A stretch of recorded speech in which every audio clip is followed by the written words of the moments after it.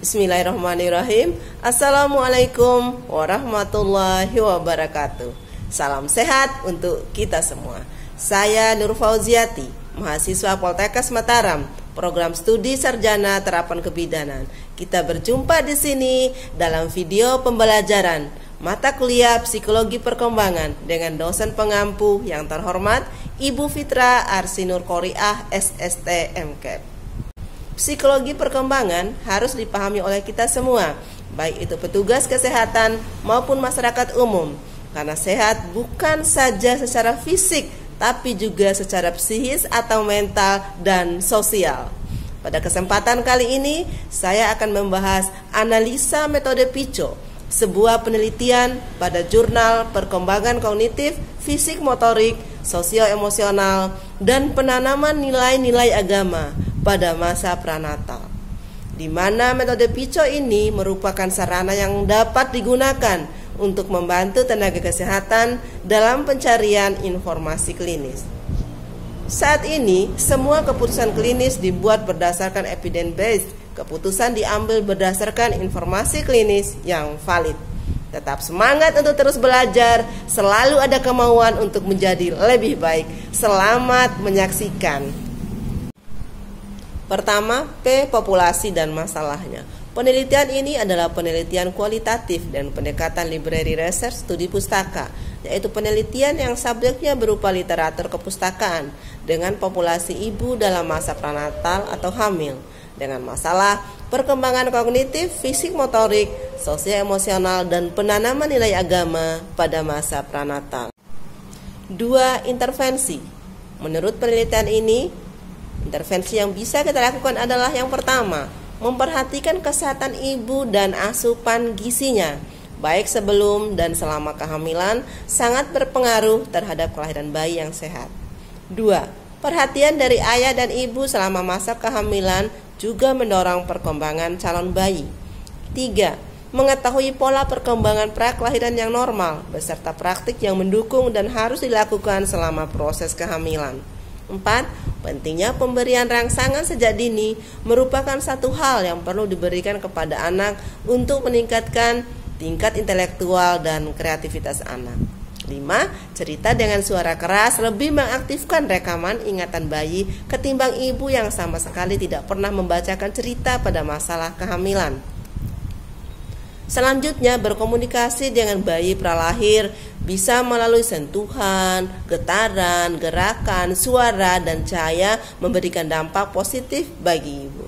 Intervensi selanjutnya yaitu rangsangan musikal yang berasal dari lantunan ayat-ayat Al-Quran yang disertai dengan sentuhan spiritual tanpa disertai bunyi alat musik mampu memberikan rangsangan kedamaian, ketenangan jiwa. Ini memberikan dampak positif bagi ibu. Selanjutnya, memberi stimulasi pada jamin, membalai, mengusap dengan lembut, mengajak berbicara, mendongengkan. Intervensi selanjutnya mengikuti kegiatan pengajian. Ikut kegiatan sosial di lingkungannya, banyak memberikan dan menolong orang lain di masa kehamilannya adalah salah satu cara untuk mendidik anak di masa pranatal agar anak tumbuh dan berkembang dengan nilai-nilai sosial dan solidaritas yang tinggi. Menanamkan nilai agama pada masa pranatal dengan metode bercerita, berdoa, zikir, berdialog, dan beribadah. Intervensi selanjutnya, orang tua, ibu dan bapak senantiasa mendekatkan diri kepada Allah Subhanahu wa taala melalui ibadah wajib maupun sunnah. Berakhlak mulia, akhlak orang tua mempunyai pengaruh dan menjadi rangsangan yang positif bagi anak dalam kandungan. Di antaranya kasih sayang, sopan santun, dan lemah lembut pemaaf, rukun dengan keluarga dan tetangga. Yang ketiga, C. Comparison ataupun perbandingan. Ibu yang membacakan cerita-cerita dengan suara keras lebih mengaktifkan rekaman ingatan bayi dibanding ibu yang sama sekali tidak pernah membacakan cerita pada masa kehamilan.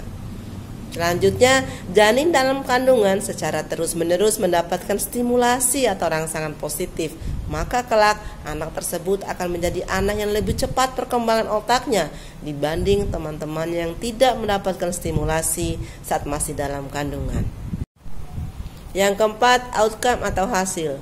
Berdasarkan dari teori-teori di atas bahwa perkembangan pranatal dari segi kognitif seperti ketika bayi mengisap jari di dalam rahim, ketika bayi merekam setiap pembicaraan ibunya, ketika ibu sedang membacakan cerita-cerita dengan keras pada masa kehamilan, serta merasa dan mengetahui perbedaan antara gelap dan terang. Dari segi fisik, secara fisik nampak bahwa setiap bulannya bayi mengalami perkembangan. Misalnya pada bulan pertama yaitu pertumbuhan otak, susunan saraf tulang belakang dan wajah mulai terbentuk. Panjang janin lebih kurang 2 cm. Bulan kedua yaitu usia ini tulang punggung, sistem saraf, otak, jantung mulai berkembang, mulai tumbuh, hidung, bibir, lidah, gigi, warna mata, jari-jari dan kaki panjang janin 2,5 cm dan hingga bulan ke-9 sehingga bayi siap untuk lahir. Dari segi emosi sosial, tanpa banyak disadari, ibu dan janin sudah memiliki hubungan emosional yang sangat kuat. Janin bisa merasakan emosi ibu, baik saat senang atau sedih, melalui hormon ibu yang disalurkan ke dalam tubuh janin.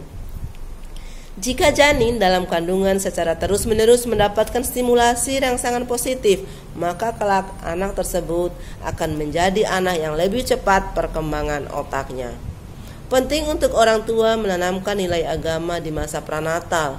Metode yang dapat dilakukan oleh orang tua dalam menanamkan nilai agama pada masa pranatal yaitu bercerita, berdoa, berzikir, berdialog, dan beribadah para sahabat super semuanya, itulah beberapa hal tentang pembahasan jurnal perkembangan kognitif, fisik motorik, sosial emosional, dan penanaman nilai agama pada masa pranatal dengan menggunakan metode PICO.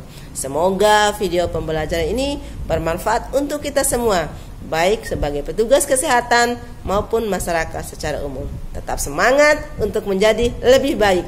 Mari bersama mengabdi untuk negeri. Bersama kita bisa. Terima kasih. Wassalamualaikum warahmatullahi wabarakatuh.